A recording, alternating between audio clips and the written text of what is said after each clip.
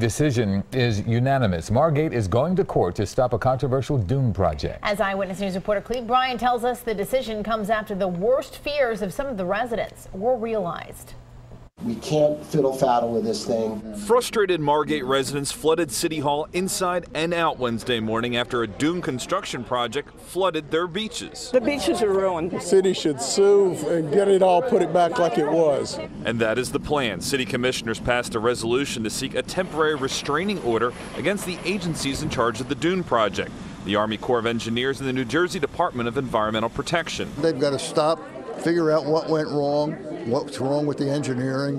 When they correct it, move on. The Army Corps say basins meant to collect and gradually percolate stormwater didn't work as planned.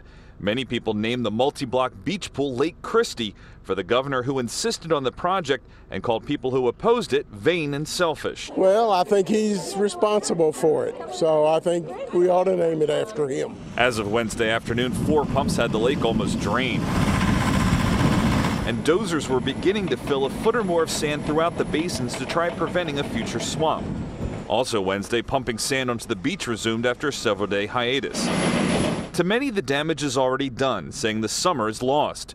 Business leaders say sales and rentals are down. This is a, a, society down here at the shore where we really have to make our money for the year in a very, very short period of time. And the Dune project is having a profound impact on everybody's bottom line, and it's all negative. Margate City officials say they plan to have their attorney file the injunction lawsuit on Thursday. Now, the last time Margate went to court against the state of New Jersey about dunes, they lost, costing more than $300,000 in legal fees.